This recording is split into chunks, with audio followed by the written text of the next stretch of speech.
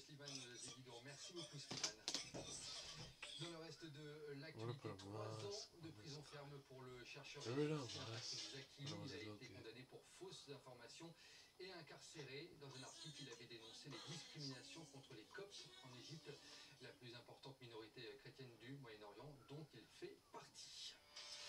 En Israël, nouvelle journée de manifestation ce mardi contre le projet de réforme de la justice, un projet euh, qui secoue le pays depuis euh, six mois désormais.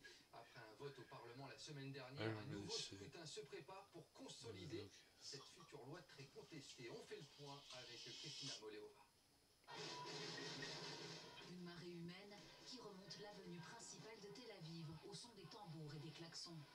Des milliers de personnes rassemblées pour la 28e semaine consécutive tentent de convaincre les parlementaires réunis ce mardi à la Knesset pour une dernière journée de débat sur le projet de réforme judiciaire du gouvernement de Benjamin Netanyahou. Nous sommes des citoyens d'Israël.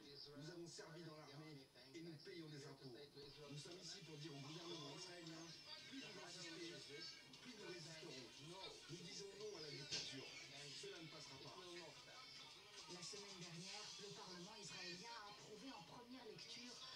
de la possibilité pour le pouvoir judiciaire de se prononcer sur le caractère raisonnable des décisions du gouvernement. Un garde-fou indispensable pour protéger la démocratie du zèle des partis d'extrême droite et des formations ultra-orthodoxes, selon les manifestants.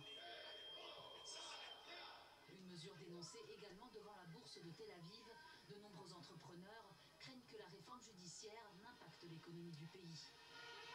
Notre économie et nos entreprises ne survivront pas l'égalité et la liberté pour tous les citoyens. Et c'est exactement ça que ce gouvernement essaie de nous prendre. À l'étranger aussi, les manœuvres du gouvernement israélien sont vivement critiquées, notamment par les États-Unis, qui avaient appelé Benjamin Netanyahou à trouver un compromis. En France, pas de changement de première ministre, mais un mini remaniement en vue. C'est notre une francophone.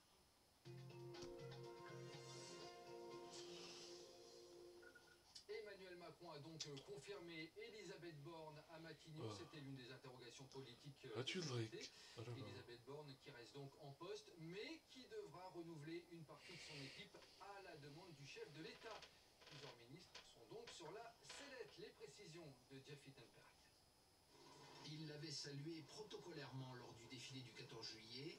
Il l'a reconduit officiellement à la tête du gouvernement. Elisabeth Borne reste donc première ministre Oh, exposés par l'Élysée.